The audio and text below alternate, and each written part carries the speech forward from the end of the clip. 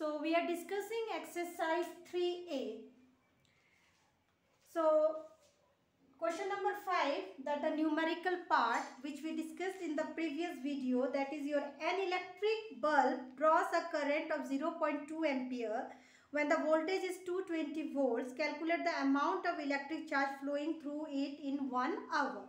So here I is given 0.2 ampere V equal to 220 volt you have to find the charge and time is given as a 1 hour. So 1 hour means 3600 second. Now we have a formula V equal to W by Q and in place of W we can use the formula VIT. So if you put the value V equal to 220 then I equal to 0.2 and T equal to 3600 divided by 220 then your answer will come as 720 coulomb. Now come to the next short answer type question type 2.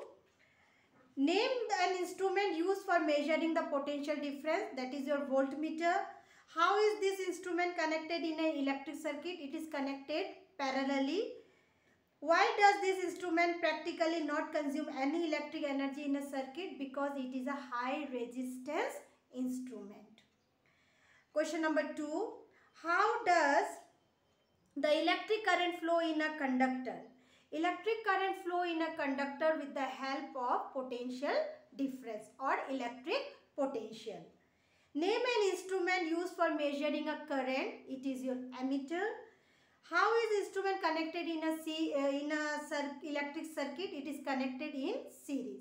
So ammeter is always connected in series and voltmeter is always connected parallel. Why does the instrument practically not use any electric energy? Because it is a low resistance instrument. So it does not uh, consume or practically uh, not use any electric energy.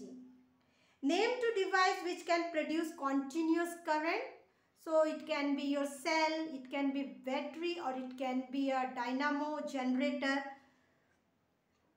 Which form of energy is responsible for the generation of electric current in the device named by you? If you write the battery, it means which energy? Chemical energy.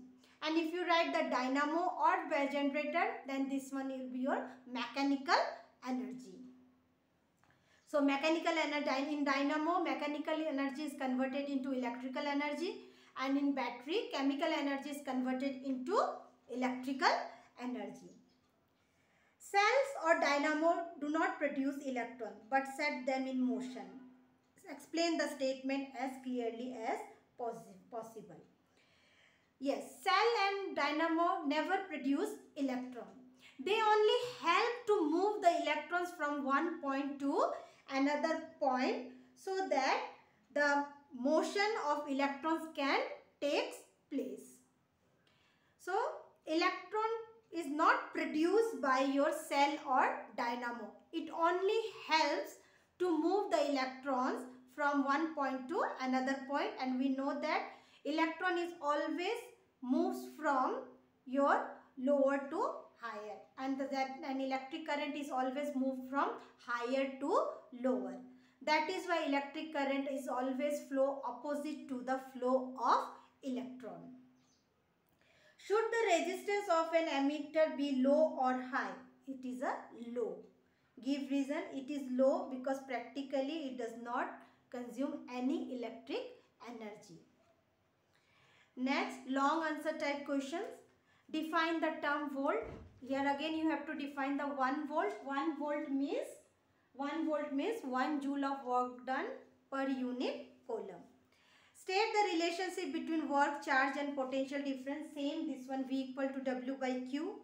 Then you have to find the uh, numerical is given. Here you have to find the voltage. Calculate the potential difference between two terminals. Here uh, W is given 100 joule and Q is given 10.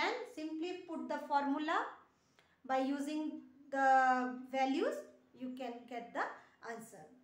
Next define the term coulomb. Again here you have to write the definition of one coulomb.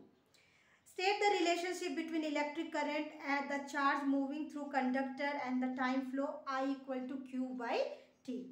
Calculate the charge passing through an electric bulb in 20 minutes if the value of the current is 20 milliampere. So here you have to find the Q. You have to find Q. And what is given just see in the question. Time is given T equal to 20 minutes. Convert this one into a second. So 20 into 1 minute equal to 60 second. So this comes as a 1200 second. Next is your given is your I is equal to 20 milliampere. 20 milliampere means 20 into 10 to the power minus 3 ampere. Milli means minus 3 ampere. So I equal to 20 milliampere, T is equal to 1200. Now use this formula I is equal to Q by T. It means Q is equal to I into T. Simply multiply this I and T that one will be your answer for charge. Now question number 3. How is direction of electric current related to the direction of flow of electrons in a wire? So conventional direction of electric current is always opposite to the flow of electron.